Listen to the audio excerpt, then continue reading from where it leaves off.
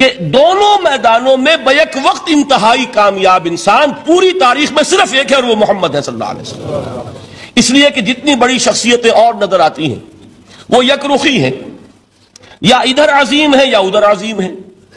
जो इधर अजमत की हामिल है, दीन में, मज़हब में, अखलाक में, रूहानियत में, जैसे हज़रत मसीह खुद या गौतम बुद्ध, उनका सियासत में इसमें कोई दखल नहीं, कोई इनकलाब बर्पा नहीं किया। कोई नई हुकूमत कायम नहीं की तो वहाँ उन्हें ज़ीरो देना पड़ता है। और इसके बरक्स सिकंदर आज़म है, अतीला है, चंगेज है। हिटलर को भी चाहे तो शामिल कर लें, जिसकी फतूहत जो है वो जंगल की आग की तरह फैली है। कोई मशरक से मगरब तक पहुँच गया, कोई मगरब से मशरक तक चला आया।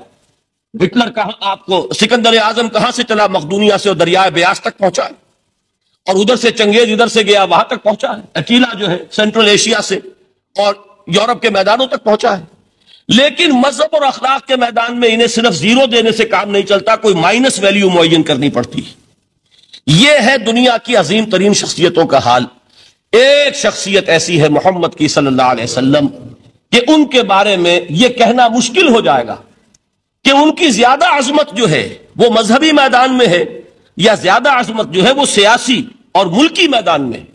एक नई तहजीब, एक नया तमदन एक नया तर्ज हुकूमत एक नया निज़ाम मीशत एक नया समाजी और माशरती निज़ाम, एक नया कानून फौजदारी, एक नया कानून दीवानी, ज़िंदगी के हर एतबार से एक इनकलाब बर्पा किया है। यह है मोहम्मद रसूलुल्लाह का वो कारनामा, जिसको कि गैर मुस्लिम भी तस्लीम करने पर मजबूर है। चुनाचे शायद आपने नाम सुना हो, हिंदुस्तान ने जो बड़े बड़े इनकलाबी पैदा किए इस सदी में, उनमें एक एम एन रॉय जो कम्युनिस्ट इंटरनेशनल जो बास्को में यूँ समझिए कि पूरी दुनिया में इश्तराकी तहरीकों को कंट्रोल करने वाला इदारा यह शख्स उसका बहुत अहम कारकुन रहा है, एम एन रॉय। उसने किताब लिखी the, historical role of Islam, और वो तस्लीम करता है कि तारीख इंसानी में अजीम तरीन इनकलाब वो है जो मोहम्मद ने बर्पा किया सल्लल्लाहु अलैहि वसल्लम।